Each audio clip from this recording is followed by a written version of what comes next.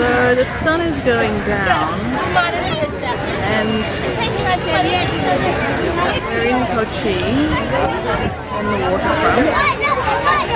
And it seems that watching the sun go down is a bit of a thing.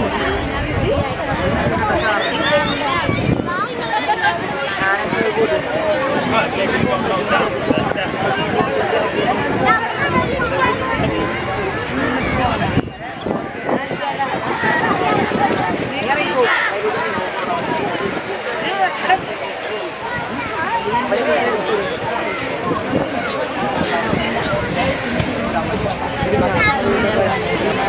are the famous Chinese.